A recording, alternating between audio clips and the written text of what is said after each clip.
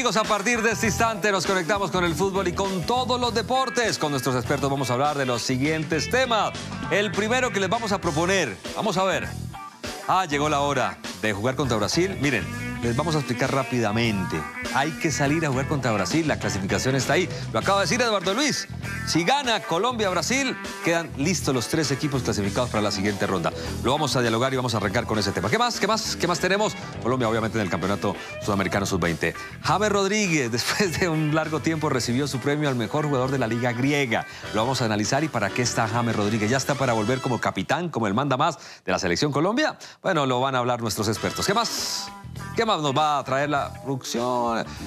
Bueno, Nelson de Osa, un jugador bien particular que nos va a dar para mucho debate. ¿Se acuerdan ustedes lo que dijo Comesaña de Nelson de Osa? Primera impresión, marcó un golazo con Junior. Eh, está para jugar en Nacional. Va a ser de verdad un refuerzo. Es uno más en la lista. Lo vamos a tratar hoy. Obviamente con todos nuestros compañeros se prenden las luces porque la temporada arrancó. 2023 arranca la liga en Bucaramanga enfrentando a Envigado. Y vamos a tener toda la información. Y arranca, ¿no? Empieza a palpitar el corazón de todos ustedes con la ilusión de esta liga y también nosotros tenemos la ilusión de un gran programa.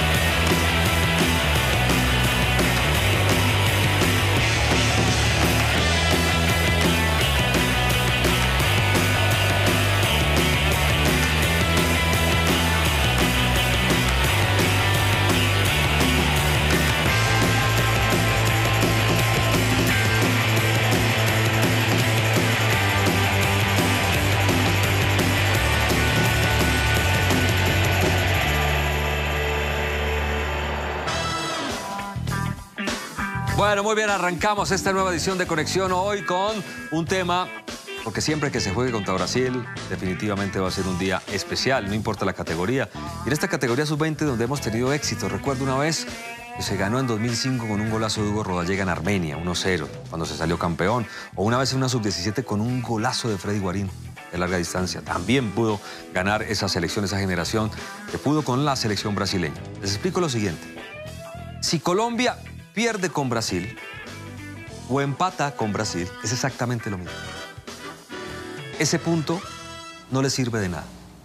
El empate lo lleva a cinco unidades y teniendo en cuenta que Argentina le gane a Perú, ahora si Argentina no le gana a Perú, si apague y vamos, ¿no? No hay nada que hacer. Pero teniendo en cuenta una cuestión de, de probabilidades, si Argentina le gana a Perú, le gana a Perú, Colombia si empatará cinco puntos. Igual tendrá que ir a jugársela contra Argentina. El empate le serviría. Eh, no, el empate no le serviría. No, sí le serviría. Sí, le sirve. Le sirve. Pero si tiene cuatro puntos y pierde contra Brasil, el empate también le serviría en la última posición. Es decir, la única posibilidad que tiene Colombia para clasificar y dejar listo este grupo es ganándolo. Ganando. ¿Hay cómo ganarle a Brasil? Usted con el nivel, ustedes en sus casas, nuestros expertos, con el nivel que ha mostrado la selección Colombia en este campeonato sub-20, ¿usted podría plantear un esquema ofensivo para ir a ganarle a Brasil o a Brasil hay que ganarle de otra manera?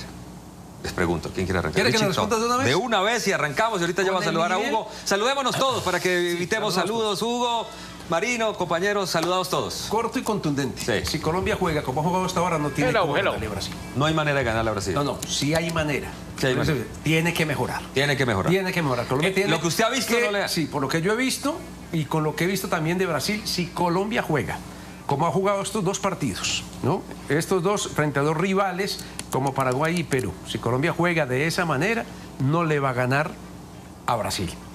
Colombia tiene que mejorar, tiene que ser más contundente, tiene que ser más efectivo, ¿no? Tiene que tener un equipo más equilibrado para poder ganarle a Brasil. ¿A qué voy? A que Colombia tiene muy buenos talentos, pero todavía no hemos visto la mejor versión de Colombia. No hay equipo. Sí hay, equipo. individualidades. No, no, sí hay equipo, pero digo. tiene que mejorar. Hay individualidades. ¿Qué, Sí, qué pregunta la producción sí, para sí, que sí. Campito también nos lo vaya contestando? Y Sergio, y obviamente Marino y Hugo. ¿Qué, qué- qué pregunta tienen ustedes, señores? Ahí está. La selección Colombia tiene el juego y los jugadores para aprovechar los resquicios defensivos. La producción nos va a mostrar que hay algunas deficiencias en Brasil en defensa. Los jugadores los tienen, porque Colombia depende de la individualidad. El juego es lo que no ha aparecido. El juego ofensivo de Colombia y la seguridad defensiva de Colombia. Colombia yo creo que ha quedado en el debe. En el segundo partido mejoró un poquito defensivamente, pero ha quedado en el debe en ambos. Eh, yo, le, yo les digo algo. Brasil es la selección más contundente del suramericano. Se le metió tres a Argentina. ¿cuál es la selección deslumbrante de, de este suramericano? No hay. Yo sigo con mi misma teoría. La Conmebol tendrá que revisar con FIFA porque yo estoy seguro que en ninguna selección están los mejores jugadores. Es que no hay ninguna selección que deslumbre. Sí, no Paraguay, Paraguay es sólido, por ejemplo, pero no es un equipo que te deslumbra. Brasil es un muy buen equipo, pero no es un equipo que te deslumbra. Si uno pregunta ahora cuál es el gran jugador del suramericano, no aparece no aparece un jugador que despunte por encima del resto. Fuimos a ver a Paz, uno quería ver en Colombia. Paz juega bien, pero. Pero no. Yo, yo me fui a, fui a ver a Paz en el Argentina-Paraguay y me quedé viendo al 7 de Paraguay.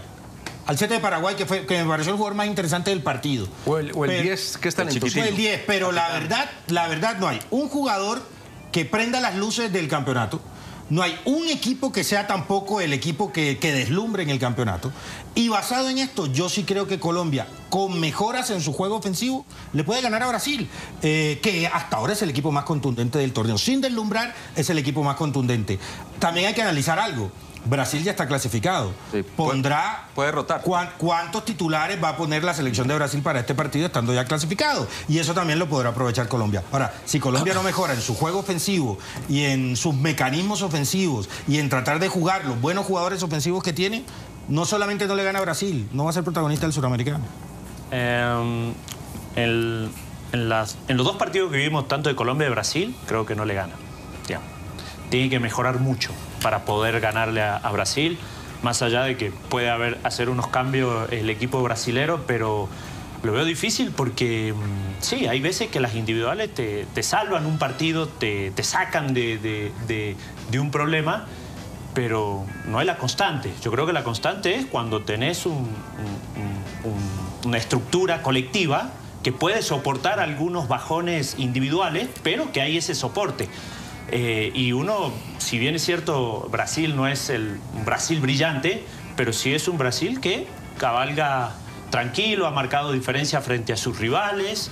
Eh, entonces me parece que Colombia colectivamente va a tener que mejorar. Y no, no solo estoy de acuerdo en lo ofensivo, pero en los defensivos me parece que le llegan poco y le anotan. Entonces también hay que tener cuidado con eso porque eh, los rivales no necesitan generar y crearte muchas situaciones para anotar. Y a Colombia pareciera que le cuesta demasiado el, juego, ¿no? Generar fútbol, circuito futbolístico. Vamos, yo la verdad eh, espero que gane Colombia, por supuesto, pero va a tener que mejorar bien y no veo a Colombia defendiéndose. Defendiéndose no veo a Colombia. Yo creo que en la idea del entrenador no está eso del defenderse. Hugo, el mensaje de esta mesa es que si Colombia, esta Colombia que hemos visto hasta ahora es difícil, pero puede aparecer. ¿Usted qué dice, Hugo?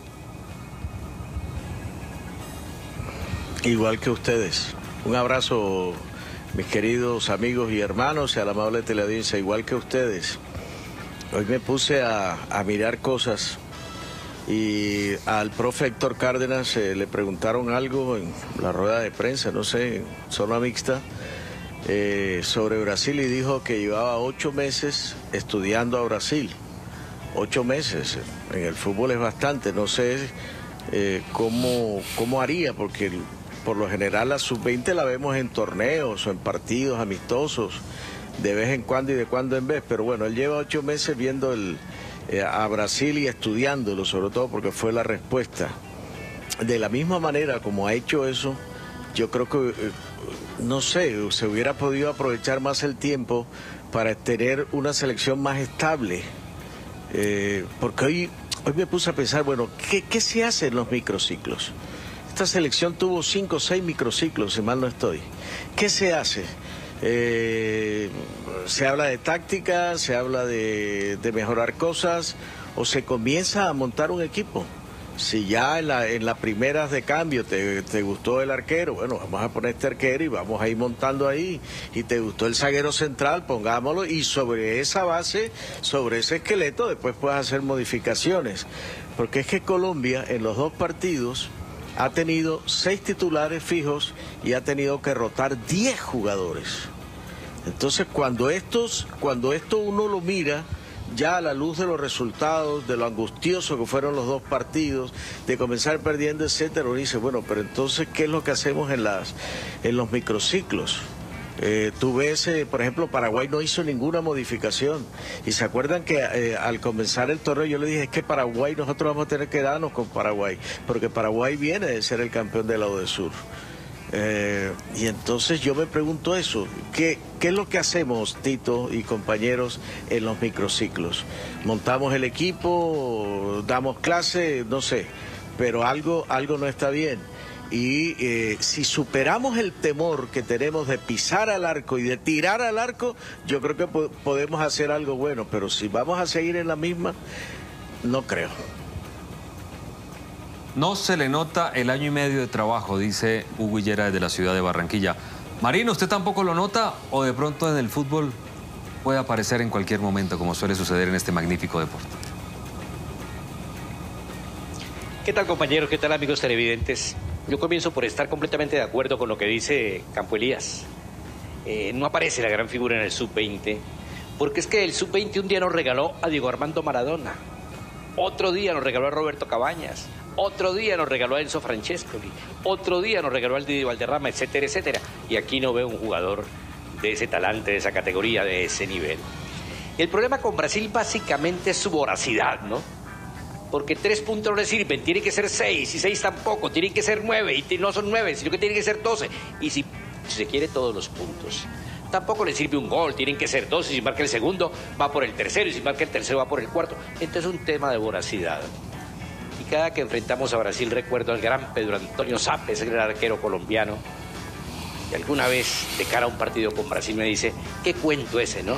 Que dice que el domingo jugamos con Brasil. No, Brasil juega con nosotros. ¿Ah? ¿Qué tal? Sí, obviamente Brasil es el cuco en todas las categorías. eh, siempre que se juegue contra Brasil va a ser difícil. Pero vamos a analizar de a poco, vamos a ver cómo ataca Brasil. No le mete miedo a Brasil, est- estoy de acuerdo. No, no se ve, no se ve. Por ejemplo, yo estuve cubriendo el 2001, el campeonato 2001 se en, en Ecuador. ¿Sabe quién estaba el delantero? ¿Sabe quién era el delantero? ¿Quién? Adriano. No, es que mire, eh, hoy, pero hay- hoy, el, hoy el Maradona, el Cabañas, Sí. eh, los mejores jugadores suramericanos están en estas categorías, están en Europa o hacen parte de grandes equipos No de, de. Sudamérica. No lo prestan, porque es que hay un conflicto entre el suramericano, hay un conflicto de fechas entre el suramericano y la preparación o competencia de varios equipos europeos. Pero, pero eso, digamos que eso le está pasando a todas las selecciones. Sí, Por, y es a que ver por eso uno no lo ataque. encuentra. Entonces- por eso uno ve un nivel bajo de todas. Claro. Porque incluso Brasil, o sea, uno está acostumbrado a ver otro nivel de Brasil y Brasil ha cabalgado este, este suramericano. Pero tampoco te aparece la gran figura. Sí, vamos a ver cómo aparece. ataca Brasil porque hay un muchacho se llama Víctor Roque, que es de Paranaense, que juega bien. Es bueno. Sí, que seguramente, no sé si uno lo vaya a ver en el... Dos contra uno, O por lo menos uno a uno. contra un Sí. central en el área. Contra un central del rival en el Sí, área. es un grave error del defensor, termina uno analizándolo, eh, eh, Hugo, como un grave error del defensor, pero provocado por la de- cantidad Sí, y por se, la ha, presión se ha brasileña. beneficiado también Brasil de muchísimos errores de las defensas que ha enfrentado hasta ahora. Sí, sí, Porque así pasó frente a Perú y Mire, así pasó Brasil- frente a Argentina. es verdad, Hugo. Brasil desde estas divisiones menores eh, representa lo que es el equipo grande también. Eh, por encima de cualquier otra selección es una selección rápida. Por encima de cualquier otra selección es una selección que gana casi todos los duelos individuales. Por encima de cualquier otra selección es un equipo que tiene aquí el arco contrario. Aquí lo tiene siempre recuperan el balón y enseguida, en actitud ofensiva, hacia adelante.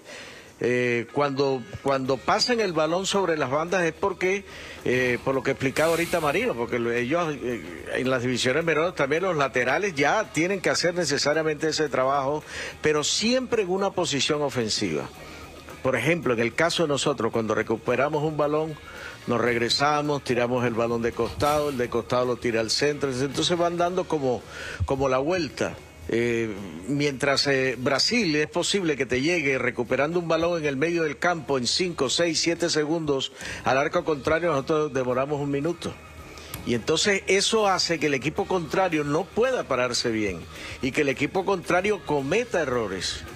y además que tienen, tienen algo que es eh, fundamental en el fútbol, eh, que a pesar que uno los ve que atacan permanentemente y están metidos en el área, no se pisan el terreno, no invaden el terreno contrario, que es lo que pasa con Alexander, que es el otro delantero, y Víctor Roque. Hoy, hoy eh, superpu- eh, eh, hice una eh, superposición de cómo se mueven cada uno y no se invaden su, su terreno y saben exactamente dónde está el otro. Eso se llama fundamentación. Yo no sé si los brasileños tienen esa capacidad de hacer una fundamentación más rápida que el resto, pero indudablemente uno ve que el jugador brasileño es supremamente mejor fundamentado que cualquier otro. Vamos, vamos a analizar, Marino, compañeros, cómo eh, defiende Brasil. ¿Cómo espera? Si hay posibilidades, cómo atacarlo. Ahorita en una imagen en campo hablaba de cómo se ponía un 5-4. Pero hay que buscarle, hay que buscarle. Vamos, vamos a mirar, vamos a mirar, Marino, vamos a ver si hay una forma de hacerle goles a Brasil. Debe, todo, ya le hicieron uno.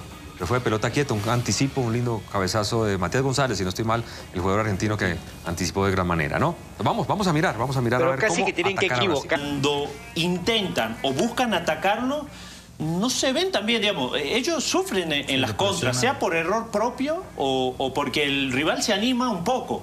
Entendamos que mm, la mayoría no le sale a jugar de tú a tú a Brasil hasta ahora. Mm. Hasta ahora no. Hasta ahora no. Vamos a ver Colombia qué es lo que propone o cómo plantea el partido. Pero cuando lo atacás ellos, ¿por qué? Porque tienen una gran vocación ofensiva y tenés que correr algunos riesgos cuando Entonces, un rebote no lo ganás claro. o eh, esa línea de presión que ellos hacen eh, se la saltan y ya defensivamente eh, me parece que mm, mm, para lo que le han llegado a, a- a Brasil me parece que se han visto nerviosos en un par de veces que no es mucho. ahora, Dicho tengo- que tengo una pregunta. O sea, a salir a atacar ustedes. La- Cuando- las cuando- imágenes mostraban ¿no? una buena noticia para O sea, Colombia, es que cuando- les hace daño la pelota quieta. Pero Pero, mira, Colombia sí, es muy buena en la pelota Sí, quieta. Pero Sí. cuando perder, cuando perder o empatar para Colombia es lo mismo frente a Brasil. Sí, sí. ¿Se podrían tomar riesgos y salir a buscar la victoria o no? Es que yo no creo que, yo creo que yo, sí. yo creo que por, por los resultados y por el rival no hay una sola estrategia para el partido. O sea, no es decir, no, vamos a replegarnos y contraatacar. Hay que dividir no, el vamos a salir y guardar. No, Porque el es que a partido hay que, a hay que Colombia- dividirlo. a Colombia el no lo hay hemos que visto. dividirlo, Pero hay que no salir a metiéndose atrás, que- no metiéndose atrás. Presión en la mitad. No metiéndose atrás, pero tampoco salir de manera desbocada a atacarlos. Claro. Pero Colombia hasta ahora no se ha visto en ese trabajo. Porque O sea, no la hemos visto en esa faceta, Ha en ese rol. ha tenido la pelota, Ha pero tenido, sin pero No, no, no, yo digo de esperar al es que- rival. Ah, esperar no, no, porque le ha Es tocado que la hasta ahora no. Es que, es que- que la, la idea de Colombia. Con las características de los jugadores que tiene, no puede ser defender. Porque es que esos jugadores no tienen características defensivas. Luna te cumple, pero no es un jugador combativo. Monsalve es un jugador que te retrocede, pero no es tampoco el jugador combativo. Eh, Cortés es un extremo que te puede venir y bajar. Eh, pero van a tener El- que aprender el- eso. Sí, pero, pero Tito, pero no lo vas a aprender previo a este Sí, sí, partido. es verdad, o sea, es las verdad. características que el técnico escogió para los jugadores Claro, que viene colocando no son de un equipo que se vaya a parar a a defender. mí me parece que por Sí. la Ya- vocación ya voy de ustedes, Brasil, chicos. Que es ofensiva, sí. más allá de los nombres que ponga frente a Colombia, parece que Colombia le va a jugar abierto, digamos. Sí. Ni me voy a, ni me voy a, No, no, no a- puede. a replegar, ni tampoco te voy a ir a atacar constantemente. Me parece que va a estar abierto, va a depender mucho lo que Brasil, eh, ya sabemos lo que va a hacer.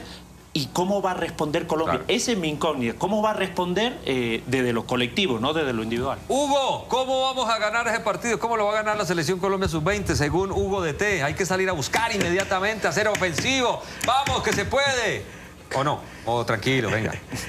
En el fútbol, en el fútbol, en el fútbol se gana con goles, Tito. No, no hay, no hay puntuación de pronto como en el boxeo. No, aquí tienes que meter gol para poder ganar. Tienes que ser muy colectivo en ese sentido. Eh, tienes que ser muy rápido en ese sentido. Tienes que ser certero sobre la velocidad en ese sentido. Eh, muchas cosas que a lo mejor no hemos todavía visto en el seleccionado nuestro. Eh, es lo que los, los norteamericanos llaman el teamwork, que es trabajar. Cada uno conoce la deficiencia y la superioridad del compañero. Entonces allí es donde está para, para o ayudarlo o protegerlo. eh, a veces nosotros no hacemos eso y nos desordenamos. Porque hoy estaba viendo también el primer partido, ¿se acuerda cuando hablamos que Caraballo se había desordenado y que había bajado a buscar un balón y que inclusive lo vimos ahí cabeza de las 18 yardas recuperando un balón y después corriendo corriendo 70 metros a ver si, si le entregaban el balón para poder anotar? Pues quiero decirle que Víctor Roque, los dos partidos que ha jugado Brasil, nunca ha pasado de la mitad de la cancha hacia, hacia su terreno, siempre ha estado de la mitad hacia atrás. Y eso es justamente por la colectividad, justamente porque le explotan a cada muchacho lo, eh, lo mejor que tiene y porque en conjunto se hacen muy fuerte. Eh, el teamwork es el trabajo en equipo. A veces nos falta eso. Eh, yo creo que eso es parte indudablemente de la, eh, de la fundamentación del jugador como tal y del trabajo que se hace colectivo para montar un equipo. Pero no sé, no, no sé, hay, hay cosas, hay, hay cosas que fueran repetitivas cada vez que juegan nuestros seleccionados menores y creo que no hemos pasado eh, como, como, como al otro nivel, al siguiente nivel, no hemos pasado. Sacamos buenos jugadores porque indudablemente es así, pero nos hace falta como otro escalón para subir un nivel en el concierto suramericano. Marino, mientras empezamos a ver cómo ataca Colombia, también quiero su opinión. Vamos a buscar ese primer gol y después miramos a ver si lo defendemos. Marino de T, ¿qué dice? Ahora mira, yo observando todo el panorama de, de ese torneo suramericano, lo mejor que he visto hasta ahora es Uruguay, que entre otras está que para ellos es más fácil jugar contra. La selección Colombia debe asumir la actitud, pre- pro- lo que estamos hablando, ¿no? Eh, el técnico considera, Sergio, que para ellos es más fácil jugar contra Brasil incluso que contra los equipos que se cierran atrás.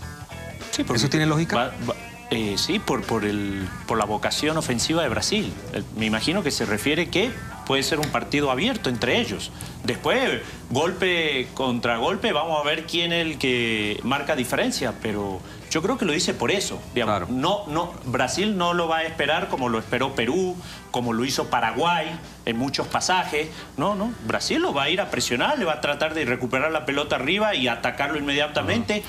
Va a estar las líneas adelantadas porque no pueden estar los delanteros en el área y, y la defensa en, en la otra área. Entonces, ese va a ser el partido. Ahora hay que ver quién en ese, eh, en ese juego saca ventaja. Colombia creo que lo puede hacer, pero vuelvo y digo, tendrá que mejorar mucho en cuanto al, a- al circuito de, de fútbol. Además de Cortés, ¿cuál es el delantero rápido que ha mostrado Colombia en el suramericano? Y, Colombia es un eh, equipo que eh, te puede hacer Castillo- toques rápidos, ¿Qué? pero además de Cortés, no te ha demostrado No, otro delantero Castillo rápido. Manllova para muy decir- rápido, ¿no, Hugo? Es muy rápido, pero no lo ha demostrado en No, este pero y no, y no te juega por rápido. banda. y- y vas no- por dentro, claro, ¿no? vas por dentro. y- Intentó jugar por banda, pero no es. lo que pasa es que esta yo- selección no o sea, tiene extremos o sea, para jugar Sí. en una- un equipo, para jugarte con transiciones rápidas, Colombia no ha mostrado jugadores para para de eso. esa y manera. hasta ahora, hay que decirlo, Colombia no ha tenido tanta claridad en mitad de campo hacia adelante. O sea, es una realidad. En el, en el fútbol de hoy se necesita la velocidad. No es, eh, no es una propuesta, es una realidad, es una necesidad tener eh, jugadores rápidos en las salidas eh, ofensivas. El otro tema del cual hablamos muy poco es el tema mental. Cada vez que dice, uy, Brasil, el Cuco viene. Y entonces vamos a jugar frente al Cuco, al invencible, al que no se le puede ganar. No, sí se le puede ganar. De hecho, le han ganado muchísimas veces. De hecho, Alemania les metió 7-1 allá. De hecho, perdieron en 1950. De hecho, de hecho, han perdido. Brasil no ha ganado todos los torneos habidos y por haber. Unas veces gana y bastante, pero otras veces no gana. Y Argentina de Scaloni se propuso ganarles en la Copa América allá en el propio Brasil y les ganó. Yo creo que hay que comenzar a desmontar eso. Yo creo que la cuota inicial del éxito es cuando te atreves, cuando dejas los miedos, cuando eh, eh, pasas esa línea del miedo para, para convertirte en, en algo propositivo, como, como está diciendo la gente de la producción en la, en la pregunta. Pero es que a veces entramos, uy, que es Brasil, no dormimos en la noche y todo, que ojo que es Brasil, ojo que... No, Brasil es un equipo, correcto, y nos vamos a enfrentar a ellos. Ah, que si es, es superior, no, bueno, miremoslo en el terreno de juego. Pero yo creo que muchas veces nosotros renunciamos al éxito justamente por estar pensando en el cuco. Marino. A mí me parece, compañeros, que nosotros fundamentalmente tenemos que concientizarnos de que la clasificación a Bogotá la tenemos que definir contra Argentina. Y entonces eso nos puede preocupar y jugar, ¿cierto? Frente a Brasil, completamente liberados. Pero si estamos pensando que frente a Brasil vamos a cuadrar caja, entonces tenemos que ir a encerrarnos y el puntico nos sirve. No, vamos a jugar eh, desinhibidos frente al equipo brasilero. Pero pensando en que la clasificación la tenemos que disputar con Argentina, me parece a mí, sería la única forma de jugar librecitos, ¿no? Livianitos contra Brasil. Pedroso Sí, se pero- pierde. Pero, pero mire, yo, yo, por ejemplo no estoy de acuerdo con Marino. ¿Por qué? Porque me parece que Colombia, si Colombia tiene la posibilidad de asegurar de una vez la clasificación frente a Brasil, pues hay que buscar ganarle a Brasil. Lo que entiendo, lo que entiendo Marino dice eso, que sin te- sabe- sabiendo que hay un partido más, No importa, Colombia debe tratar de ganarle a No Brasil sin la presión. Si usted puede cobrar mañana, cobre mañana. Cuidado no con los goles en contra, ¿eh? de una vez, ¿no? Que De tiene una que vez, salir a, tiene ¿no? que salir a No, pero no se va a definir Sí, por goles si en contra. si La te metes primera- a la, la- cancha contra Brasil, si te metes a la cancha contra Brasil para buscar un puntico, a ver si de pronto la Virgen del Carmen o el Perpetuo Socorro me permite empatar, ya estás con una presión, entonces juguemos liberados, vamos a despojarnos y juguemos abierticos, a ver A qué eso- pasa. a eso- a voy yo. creo que la clasificación la Claro. vamos a disputar con En- Argentina. en- Claro, pero a eso, a eso iba yo. Si el punto nos da lo mismo que la derrota, pues entonces salgamos a, salgamos a buscar ganar el partido. Es que en última ustedes dos tienen ¿no? razón. La, la idea de Marino es que salgan sin la presión, salgan sueltos y de pronto le ganan a Brasil, sabiendo que hay un partido más contra Argentina. Sí. Sí, a Brasil es un Porque el equipo que- punto no sirve de nada. Poco Punto lo no han sirve. atacado. Ahora, también muchas veces los equipos salen con la intención de ganar y el mismo desarrollo del partido te muestra una superioridad Sí. del rival, ¿no? Y ahí el equipo y los jugadores Claro, reaccionan. Pero no es que el punto no sirva, visto- yo- porque de no pronto va y y Argentina se complica con Perú. Ah, pero queda eliminada Argentina. Ah, pues por eso. Sí, Entonces, yo lo que punto creo no es que Colombia, Colombia es un equipo que en la idea que ha mostrado el entrenador no está armado para defender. Y si no está armado para defender, no puedes comenzar a defender con jugadores que por sus características no lo van a hacer bien. Entonces sale y juega de otra manera o a la manera que tú quieres y que no has podido encontrar. Pero sigue con tu misma propuesta. Es verdad. Bueno, hay la un... idea. Sí, Sí, la claro. Quien quita que contra Brasil Aparezca un- el equipo un y aparezca el juego. Exactamente, juegue su mejor fútbol. Sí. Eh, Puede porque es un equipo que te- también te va a salir a atacar, te va a salir a. Más espacios va a haber. Claro. Lo, lo- lo Hay que preocupante elegir es que ni siquiera... que y en sepan eso- aprovechar los espacios. Eh, lo preocupante, y en eso daba puntadas eh, eh, Hugo, es que el técnico hasta ahora no ha podido encontrar la nómina. Colombia salió con una nómina en el primer año- partido. año y medio ha hecho 10 Varió para el segundo tiempo. Al segundo partido salió prácticamente con la nómina del segundo tiempo del primer partido y tuvo que empezar a variar porque tampoco, Pero- tampoco pero fue. hay algo que en ese sentido me deja tranquilo. ¿Qué? La idea no cambió. Cambiaron los nombres, pero si uno analiza características, son prácticamente, siguen siendo jugadores ofensivos. Monsalve es tan Sí. ofensivo como Manyoma. Parece que Monsalve jugó mejor. Si esos muchachos no le Campo. meten, Sí, la idea es La una idea, sola. la idea, por, sigue, por lo menos o sea, en, el- en el la idea libreto, una sola claro, y no eso a mí me parece en, el- bueno. en el libreto, parece en el bueno. libreto la idea está, lo que pasa es que no se ha interpretado de la mejor manera eh, posible, Les- por lo menos como para ¿Quién- que nos llene a todos. Para pasar al siguiente tema, vamos a hacer la pausa, pero antes, ¿han oído hablar de Fernando Álvarez ustedes? ¿Entran? Es central. Ah, el central de Colombia, el del Pachuca. El Pachuca, ya lo vamos a Sí. ver. La producción estuvo Juega investigando. el Pachuca, sí. Muy técnico, muy técnico y ojo campo, de muy buena pelota profunda. ¿Y sabes qué, Tito? Eso muy puede ser una buena pelota profunda. Sí, señor. ¿Y sabes qué? Y, y sa- y sabes qué? En los partidos ya eh, últimos que se hicieron para el campeonato eh, que estamos jugando, Álvarez y Steven Valencia fueron los dos zagueros centrales. Álvarez y Steven Valencia Bueno, estuvieron en los últimos partidos como titulares eh, de, de preparación y no han aparecido en el campeonato. Bueno, así es, así suele pasar. Breve pausa. Tocamos el tema del nuevo central que va a tener Colombia por la suspensión de Pedroso, uno de los muy buenos jugadores que tiene esta selección. Bueno, en cualquier momento vamos a ir a Bucaramanga porque arranca nuestra liga, arranca una nueva temporada y le vamos a dedicar un muy buen espacio a la liga. Pero antes, lo prometido es deuda. Señoras y señores, Fernando Álvarez, quedé sorprendido con la muy buena zurda que tiene. Jugador, buena presencia, de Pachuca Mexicano, y me, es el zurdazo con esa pelota profunda del, central, ¿no? De Álvarez, ¿no, Marino? Cierto, todo depende de la idea del técnico. Cuánto al técnico no le gusta ese fútbol directo, ¿cierto? Ese fútbol largo. Quiere más bien darle un tratamiento de pelota. En fin, ¿no? Ahora, yo lo que sí quiero derribar, por lo menos de mi parte, es el concepto ese que el problema con Brasil es únicamente nuestra mentalidad. No, fuera de la mentalidad hay que jugarle fútbol a Brasil. Y cuando a Brasil se le gana, como Alemania con siete goles y lo que citaba Hugo, es con fútbol más que con la mente. Sí, lo de la mente es importante, pero eso hay que agregarle una buena dosis de fútbol. ¿ah? Yo, yo le puedo ayudar a la mente con esto. Y gracias a José Martín Ripoll. Dice, la selección de Brasil tiene 285 minutos sin marcarle gol a Colombia. Su 20-23 de enero de 2015 fue gol de Marco Guilherme al minuto 75. De esta fecha han pasado tres juegos. En el 2015 Colombia ganó 3-0.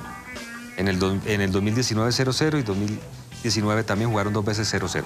Pues bien, venimos de una buena racha. No se ha perdido hace tres En partidos. sub-20, ¿no? En sub-20, todos estos categoría. Pues que categoría. esas categorías, esa categoría es una categoría de cierta manera abierta. Gracias a José Martín. Una categoría abierta. O sea, no Puede es. pasar. es ya- sí, la historia pesa, juega y todo lo demás. con pero- Mascherano, con jugador del Madrid, con jugador, campeona del mundo, cinco o seis veces campeona de la Pero, Tito, categoría. pues mírelo nomás ahora cómo está. cero puntos. Y con, el, y con el semejante equipo. Bueno, vamos- no, no hay muchas figuras, pero hay muy buenos. Claro, no le vamos a perder la pisada obviamente a la selección Pero hoy arranca la liga. Y ya está Yasmín y Armando Araque. Yasmín Hernández están en la ciudad de Bucaramanga. Si nos, nos están llamando, que están listos, que están que se juegan, que están que se reportan. Y ahí aparecen muy bien en pantalla. Chicos, adelante desde la ciudad de los parques. Hola Tito, compañeros, ¿qué tal? Una feliz noche, claro. Estamos que nos jugamos hace rato y mire que en esta cancha está en perfectas condiciones. Hola Yasmin, ¿qué tal? Una feliz noche. Hola Armando, hola compañeros televidentes, así es, ya estamos a nada de que ruede la pelota en el estadio Alfonso López, equipos que le darán apertura a esta liga, Atlético Bucaramanga ante Envigado. Muchas novedades, sobre todo por Atlético Bucaramanga que Sí. cuenta con una nómina nueva. 12 caras nuevas, entre esas también el cuerpo técnico liderado por el profesor Raúl Agustín Armando, una terna, digámoslo así, también argentina, y cuatro jugadores que han llegado también del mismo país, como hace mucho tiempo no se veía en el Atlético Bucaramanga. Ya hay nóminas confirmadas, tres bajas no podrá contar. Hoy el conjunto Leopardo, uno de esos es Diego Chávez, el buen volante que estuvo por el Unión Magdalena, también Francisco Rodríguez, que viene de la temporada anterior de Atlético Bucaramanga, fechas de sanción, y también Aldair Zárate, un volante que viene del Bogotá Fútbol Club y que lamentablemente se perderá tres primeras fechas de Atlético Bucaramanga. Esas son las novedades, siete caras nuevas va a tener en la nómina titular, Yasmín, a comparación del año 2022. No, y a comparación del Atlético Bucaramanga, Envigado Fútbol Club no tiene tantas caras nuevas, por supuesto tiene su nómina base de la sub-20. De los 18 jugadores que viajaron, 14 son de la sub-20 y muchos de esos ganaron el semestre pa- pasado el torneo sub-20. Por otra parte, les cuento que llegaron tres caras nuevas y que hoy serán efectivos para el profesor Alberto, Alberto Suárez porque serán titulares. Se trata de Felipe Jaramillo, quien en Águilas no tuvo muy buenos minutos, no le dieron la oportunidad al mando de Leonel Álvarez, pero en esta ocasión espera ser una ficha importante porque además de su experiencia poder ayudarle a la juventud para también enseñarle. Por otra parte tenemos un jugador que es argentino, se, se trata de Ivo Kloster, será el delantero oficial de Envigado Fútbol Club y le están apostando a este jugador y pues dicen que cabecea muy bien, que es rápido, un buen centro delantero. Además hablamos también del jugador lateral derecho Henry Cuervo, que viene de Barranquilla eh, Fútbol Club y, también será titular en este partido. Salieron cinco jugadores del equipo de Envigado, uno de esos importantes. Jesús Hernández, quien recordemos que fue el, eh, fue el goleador del semestre pasado, iba a presentar o presentó exámenes médicos en el Junior de Barranquilla y no logró pasarlos, así que en este momento se encuentra en un equipo de Arabia. Y hablamos también del jugador Francisco Báez, el paraguayo, el capitán que tenía Envigado, duró muchos años con el equipo y ya en este momento se encuentra en su país natal. Por otra parte, compañeros, contarles algo y no solo a ustedes, a los hinchas. Hincha naranja hoy. Tendremos preventa exclusiva de nuestra nueva segunda camiseta 2023 por nuestra nueva app oficial, Envigado Fútbol Club. Bien, muchachos, nos reencontramos a partir de las 8 de la noche con todas las incidencias de lo que sucede aquí en el Estadio Departamental Alfonso López, en este juego entre Envigado y el conjunto Atlético Bucaramanga. Yasmín, Armando, buenísimo, perfecto. Arranca el fútbol. Campo está feliz, ¿no? Sí, no, claro, la ciudad muy, muy contento. Primero felicitar a las autoridades de Bucaramanga por la manera como han recuperado esa cancha. Está linda. Muy buena cancha, Muy buen terreno de juego. Y segundo, felicitar también a la gente de Envigado. El merchandising de Envigado, puede que Envigado no sea un equipo que tenga muchos hinchas, pero la calidad del merchandising de Envigado, sus gorras, sus camisetas y demás, ya tienen es para tomar, por Y la ejemplo, para por la. Y la- ejemplo y la apuesta. en muchos equipos que tal vez tengan mayor hinchada, pero lo hacen muy bien Envigado. Y es una apuesta grande jugar con un equipo sub-20 prácticamente, Sí, ¿no? Eh, sí. me, preocupa, no, me llama la atención el nombre Sí. del técnico de, del Bucaramanga. La verdad no lo tenía referenciado. Eh, Deportivo Belgrano. Belgrano, de- que son equipos del de torneo menores. Federal A, Es- digamos, es muy- tercera división. Sí, A tercera. nivel nacional. Tercera división del interior. Del interior. Claro, Sí, ojalá le y con muchos equipos en esa Claro, categoría. ojalá le salga a Bucaramanga, pero si usted anuncia un día a Bolillo Gómez, a Bolillo Gómez, para terminar con el técnico de Deportivo, Raúl Armando Esportivo Belgrano. de Deportivo Belgrano, o Eh, sea, no- hay una diferencia y no se sabe qué están haciendo. clarísima No se entiende. entre Bolillo y Deportivo Belgrano. No se o sea, entiende, se Totalmente. entiende. Eh, y por sí. eso la poca asistencia. Poca gente. Bueno, Marino me llamó. ah, Ya vamos a repasar toda la fecha, Marino. No, es que el 11 de Manizales acabó con Bucaramanga. El par de piezas que le llevó, por favor. Se llevó un par de piezas que ¿Ah? parecen 11. Bueno, Bucaramanga, Envigado, primer partido, ¿Qué tal esta jornada arrancando esta primera fecha y tenemos una muy buena cartelera de partidos que arrancan con este a las 8 de la noche en Alfonso López. Ahí está esta primera fecha, ustedes no se pueden perder en nuestras pantallas. El miércoles, Unión Magdalena Atlético Huila que regresa a la primera división, será a las 3 y 10 en el Sierra Nevada. A las 5.20, Junior de Barranquilla ¿Con visitando Águilas? Doradas. ¿Qué viene a hacer? Eh, Unión, Unión. que de pronto lo presentaba. Sí, de pronto. de Y, pronto. y es el debut de uno de los equipos más esperados, Claro. a pesar de que no esté Juanfer Quintero de Quintero titular, que debuta es el Junior de Barranquilla. Contra Medellín en ¿no? la segunda fecha. En la segunda fecha. Sí. Mañana Boyacá debe Chico, llegar es el transfer. El jueves 26 tendremos en el estadio La Independencia Boyacá Chico contra Alianza Petrolera. Tendremos al Tolima América. Ah, Qué lindo partido. partido. 6 y 10. Y a las 8 y 20 Atlético Nacional. 11 Caldas estaremos en el Atanasio Girardot. Con este partido. ¿no? Sí, sí, sí, sí, sí. Además que el 11 Caldas, esa, esa, eh, nómina que Hoy, y Nacional también tiene muy buena nómina. Sí, a sí, mí la sí, nómina nacional me parece que es una nómina muy competitiva. Y Nacional que tendrá que demostrar muchas cosas. El proyecto Autori, Autori, Mm, así digan lo que digan, es un señor con mucho recorrido que merece su espera. Bueno, primera fecha del fútbol profesional colombiano que ustedes no se pueden perder. Arrancó la liga. Bueno, nos vamos a una brevísima pausa. Ya venimos. También Jaguares Santa Fe, obviamente, a las 5.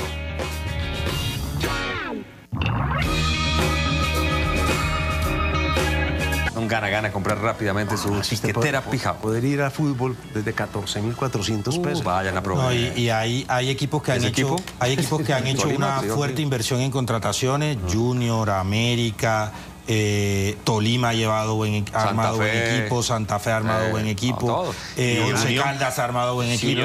Unión lleva a Teófilo. Gutiérrez, Millonarios. Millonarios ti- tiene un muy buen plantel, En su, tiene Millonarios. en su gran mayoría, los equipos en Colombia hicieron un esfuerzo grande. Entonces, ahí ya la pelota también pasa al lado del hincha, ¿no?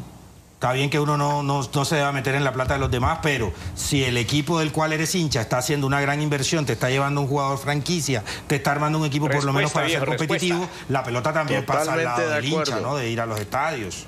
Sí, sí, sí, sí, sí. Esto por Twitter no, no, no es que sea Tito. el hincha. El hincha es el que va al estadio Sí, y señor, que mientras adquiere la vemos- posibilidad de ver el partido Vea, por vea, le muestro, también. Hugo. Quiero regalarle unas gafas de esas que tiene acá el jugador de Envigado. Qué buena camiseta la de Envigado. Esa es la que están vendiendo por la app, Hugo. Por si quiere, se mete a la app.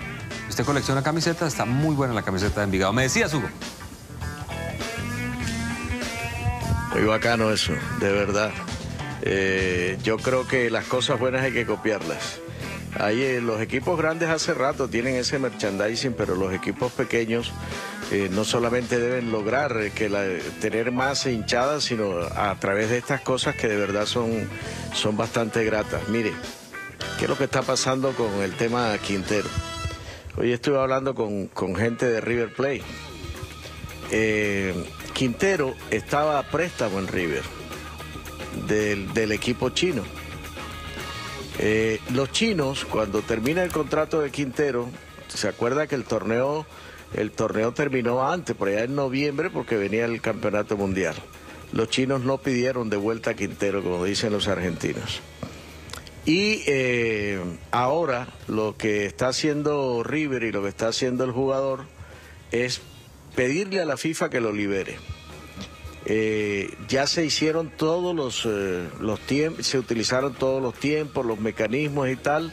Los chinos no se han dado por enterado tampoco. Pregunté, dice, no hay mayor problema porque los chinos no se opusieron, sino que nunca pidieron el transfer a River, no contestaron nada y prácticamente pues abandonaron al jugador. Y eh, ese tema ya fue planteado a través de abogado a la FIFA para que la FIFA eh, eh, pueda otorgarle la libertad al jugador y poderlo inscribir. No es la primera vez que pasa, entre otras cosas. Esto pasa más de lo que de lo que nosotros creemos. De manera que me dijeron que creen que el jueves eh, estaría el transfer en Colombia. Sí, ahí No- se, normalmente se en esos el casos, derecho al trabajo. claro, la FIFA le da eh, como el beneplácito al jugador, Eh. ¿no? Y protege eh, Claro. el derecho al El trabajo. derecho al trabajo. Señores, hoy presentaron sí, el derecho al trabajo. Eh, cambiando de tema y siguiendo con nuestra liga, Hugo, hoy presentaron, y tiene mucho que ver con usted, Hugo, porque hoy presentaron a Nelson de Osa en Atlético Nacional. Con de Osa, infortunadamente, sucedió algo. Digo infortunadamente porque terminó siendo una cosa medio negativa. De Osa enamoró a primera vista al hincha arranquillero. ¿Por qué? Porque agarró la pelota, la paró, la clavó en un ángulo. Golazo. Dijeron, uh, este tipo tiene categoría. Pero antes de eso ya había metido". hecho cositas, ¿sabe? Y, y técnica, tiene buena técnica, un sí, flaco alto, Ah, en el calidoso. Huila demostró, en el Huila demostró. demostró. Huila descendido, Pero después vino lo que dijo Comesaña, Sergio. Que, Que no lo conocía. No lo conocía y aquí, quien lo ha visto y como que tratando de justificar que no iba a poner a un joven. Terminó, tal vez no era el objetivo de Julio, pero terminó como bajándole la caña a este muchacho. A mí, a mí las declaraciones de Comesaña lo único que me hacen preguntarme es cómo es de Osa en el entrenamiento. ¿Cómo es de Osa en el entrenamiento? Porque no es normal que si usted en el entrenamiento muestra las condiciones, que creo que todos hemos visto de Osa, aunque en Junior fueron chispazos de esas, eh, de esas condiciones, pero no es normal que si usted en, un- en los entrenamientos ve que un jugador se te destaca con esas condiciones, después decidas no ponerlo. Sobre todo diciendo es que yo no lo conozco, es que eh, en este momento es para los grandes, hablando como del carácter del jugador. Entonces Pero, yo Campo, sí creo que habría que... Yo siento es que un por jugador esos que días estaba de entrada- como malhumorado, ¿no? Eh, lo demostrará de Osa ahora en Nacional. Tiene que demostrarlo. La pelota, Marino está en la cancha de Osa a decirle. Sí, claro. No solo, no a Comesaña, Porque a él mismo y a, a, Nacional. a pesar de ello fue a convocatorias de selección. Sí, es que hay, hay, algo, hay algo extraño allí, porque, por ejemplo, eh, ustedes recuerdan a Deosa, bueno, los que transmiten el fútbol, porque obviamente lo transmiten, lo comentan y tienen al, jugador presente. Él en ese 2021 jugó 11 partidos, eh, no siempre fue titular y anotó un gol. Eso le sirvió para ir a Estudiantes de La Plata. No jugó, no jugó. Por ahí encontré algún partido en Copa, en Copa Argentina. O sea, no jugó tampoco. Tampoco lo vieron que los, que los argentinos son especialistas en ver un jugador joven y saber si sí o si no. Claro. Después viene el Junior, que ya ustedes a- acaban de, de- de- de acordarse. Eh, el profesor Lorenzo habla muy bien de él y lo llama a un, a un microciclo. Eh, ¿Ustedes creen que si el jugador le sirviera a Arturo Reyes, usted cree que no lo deja? Lo deja. Entonces, que- estoy de acuerdo con Campo. Hay algo, hay algo Pero- que tenemos que Hugo, detectar qué es. Hugo. Que es por el, por, por el cual no se ve con buenos ojos, etcétera. Pero en este momento, ¿sabes? Como jugador, por lo que hubiera hecho, por los goles que hubiera anotado, la verdad lo ha hecho bastante poco para utilizar ahí una. Debe ser que ronca mucho en la concentración. Una contradicción. Muy poco mejor. Pero, pero mire, No pero, sé, pero sí es, cosa sí es simpático, sí es, Hugo, pero sí es simpático que con ese tipo de, de circunstancias que ya hemos comentado, primero haya estado ya en convocatoria de Selección Colombia. O sea, algo tuvo que No, haber con visto Comesaña terminó el técnico jugando de Selección después. Colombia. Ustedes se Después Comesaña lo puso. Sí. Y, y no en vano un equipo como Nacional le abre A la veces puerta. pasan tampoco cosas. es tan fácil llegar a un equipo como Atlético Nacional. sí. O sea, si a mí me dice, llega otro Ahora- tipo de equipo donde no hay tanta posibilidad. Y uno dice, oh, llega bien, perfecto, pero Nacional y que Nacional diga, venga. eso, va- también tiene, eso, eso que ¿Va a dice Ricardo, eso que dice, puede jugar, eso que dice Ricardo también tiene otra lectura. Has estado en tres equipos importantes, o por lo menos en dos, porque Estudiantes no es un equipo cualquiera en Argentina. No, Estudiantes es uno de los de equipos importantes. Semifinalista la Entonces, última tus Copa condiciones te permiten llegar a Estudiantes y a Junior. ¿Por qué no jugaste? ¿Por qué no te instalaste como titular? Bueno, es una pregunta. Y ahora llegas a Nacional. Mire los tres equipos. Ahora la tiene que reventar Nacional porque no, no va a tener a lo mejor otra Pero- oportunidad. Claro, Piensen- Pero entonces él, él también ¿Qué es tendrá que demostrar. O media punta. Puede jugar O por sea, la es un, es un generador de juego. Generador de juego. Sí, para mí es un generador de juego, Bueno, usted puede 10. generar juego en cualquier lugar. No, para mí es un 10. Para mí Es un un 10. 10. Para O mí es ¿va a un 10. disputar con Haaland? Un 10 con las, con las, Ahora, con esa con las pegada, adaptaciones modernas del 10 y demás. Pero él es un 10. O puede jugar con Harlan ahí. Y puede jugar con. El tema es si al entrenador le gusta tener dos zurdos en ese sector. O Juega con quién los va a 4-3-3. asociar. Hoy hay unos pelados ahí nacional. Sí, pero en esa Torres. posición. Pero ojo que ya es el tercer equipo Pero- donde estás, ¿no? Estudiante junior y ahora llegas a Nacional. ¿Va a ser titular? grandes condiciones. ¿Va a ser titular? Y depende de él. O en este momento no lo veo. No lo veo también pues, por, por el Porque llega nuevo. No, y no solo por lo nuevo, sino por el 4 Y llega- y llega tarde Digamos- también. Digamos, no tiene, no es, no es un, no es un extremo natural, ¿cierto? No es un, un interno, eh, para un 3 tampoco es un interno. O, o sí, no lo veo. Yo creo que por izquierda. Tendría que 4-3-3 arrancar por derecha y, por flotar después por detrás del 9. pero Vamos. Hoy lo presentaron. no lo veo, ¿eh? Sergio, hoy presentaron. Al final va a hablar. Entonces, cuando empiece a hablar, nos vamos a callar nosotros. Van a ver ustedes la presentación de. Eh, ¿qué, qué dice Marino? ¿Lo ves como un extremo, un puntero izquierdo? ¿Puede generar por ahí su fútbol? No, como un interior izquierdo, ¿no? Recostado sobre esa banda. Además, yo te quiero decir, Ah, independiente de, de si ronca o no ronca en la concentración o qué dificultad tiene, con esa pegada, si siempre le pega la pelota así, yo le compro, ¿ah? Seguro. Sí. Sí. eh,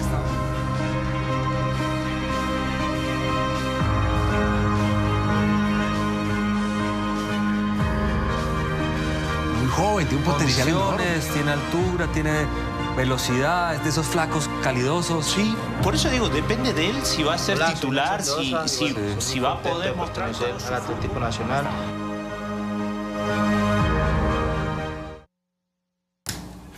Bueno, ahí, ahí dijo que sa- saludos a, Es que, por ejemplo, a todos. eh, Estaba saludando. Estaba hablando Sergio. Sí, pero él, va a tener en- Te cortó de Osa. él va a tener en- él va a tener él, va a tener que, que vivir y superar eso.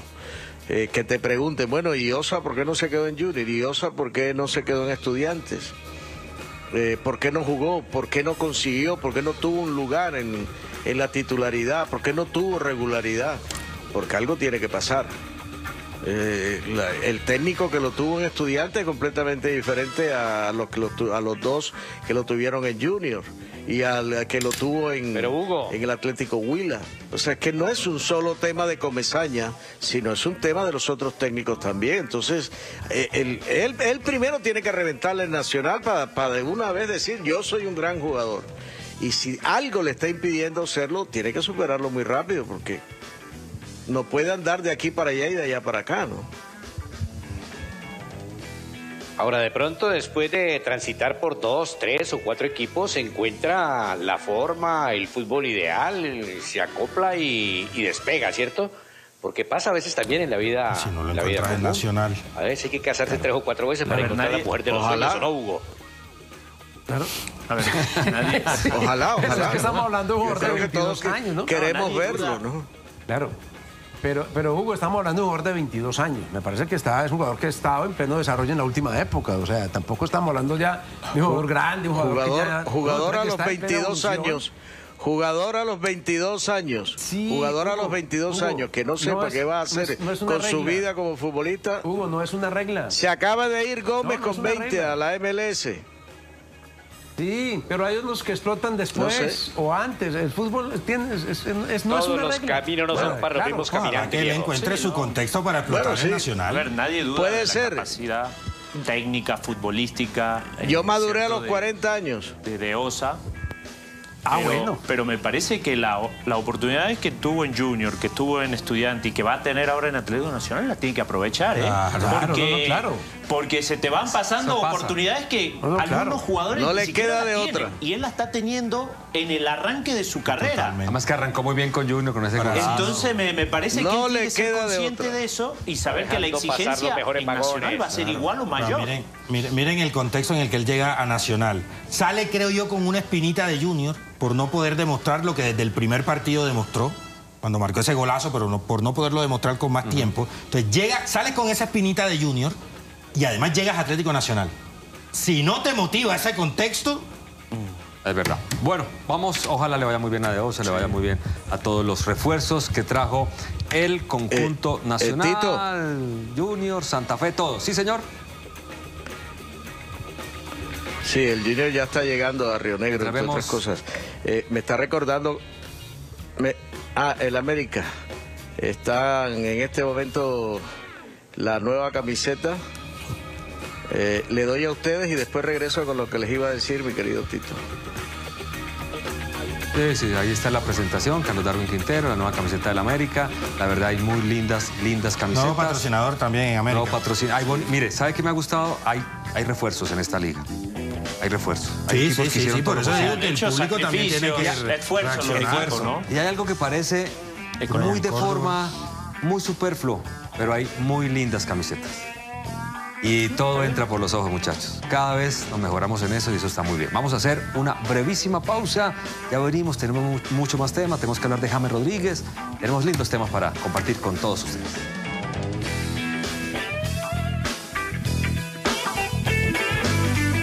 Hablando de Londoño porque River lo quiere prestar. Borja le va tan bien en River Plate que lo quieren prestar. Usted dice, ah, que lo Rondón, lleven a. Nacional. Rondón. Se anda Ese- Rondón. y, es- No, y pero Borja es que Borja, y. Borja es el mejor nueve que tenemos hoy en día en el fútbol No, internacional. Digo Claro, lo y de. Londoño, la posible salida es por la llegada de Rondón. Pero, también, ¿eh? pero llega lo quieren prestar solamente en Argentina. Y Borja, y, Bor- y a Borja, y Borja afinó cuando, Cuando Rondón, Rondón- que- Rondón, Rondón, Borja, yo lo aquí- de Rondón. Venga. ¿Puede jugar con doble nueve? Aquí no me saca nadie, ¿no? Puede ser con doble nueve. ¿no? Tito. Aquí no me saca nadie. Eh, sí, señor. Le voy a presentar a James, pero primero usted, Marino, por favor. Tito.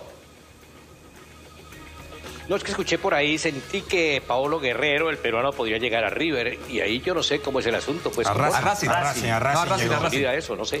Llegó a A Racing. Racing llegó.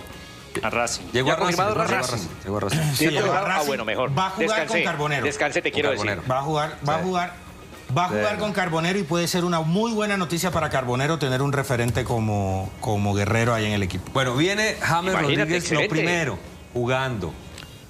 Tito. Marino jugando 70, 77, 68 minutos. Está jugando James Rodríguez y fuera de eso salió figura de hace un par de meses. No, lo que pasa es que lo entregaron hasta hoy eh, Hugo. Pero James Rodríguez está jugando y está jugando bien.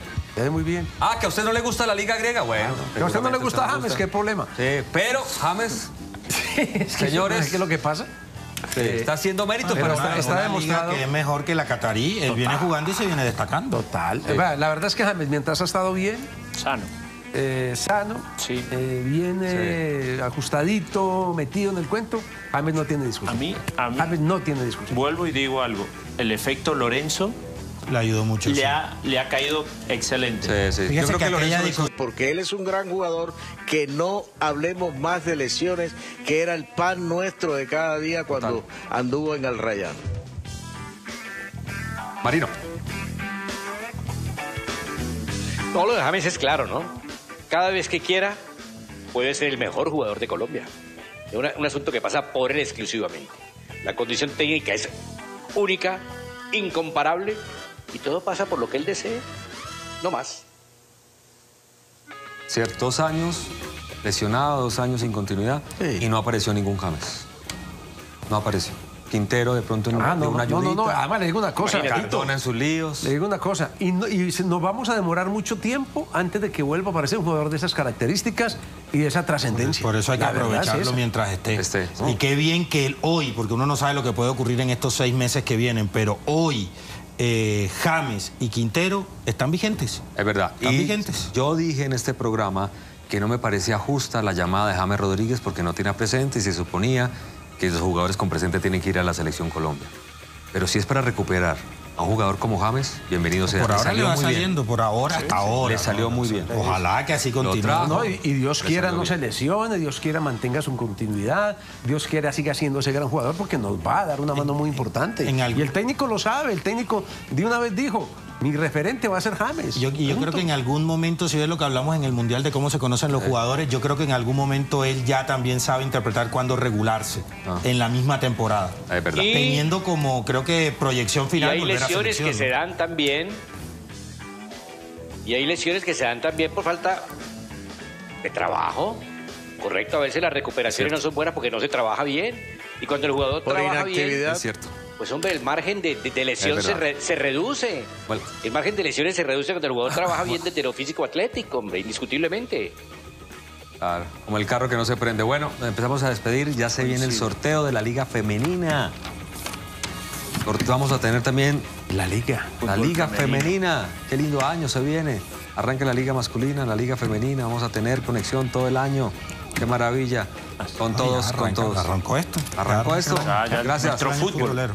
Gracias a Marino, gracias a Hugo, gracias a Sergio Alejandro Galván Rey, Un gusto. Campito, Gusto como siempre, Tito. Ricardo que sigue con barba, vamos a ver cuándo se la quita, vamos a ver. Vamos a ver si hace con el, con el 11 hace alguna, no sé, alguna puestica con su barba.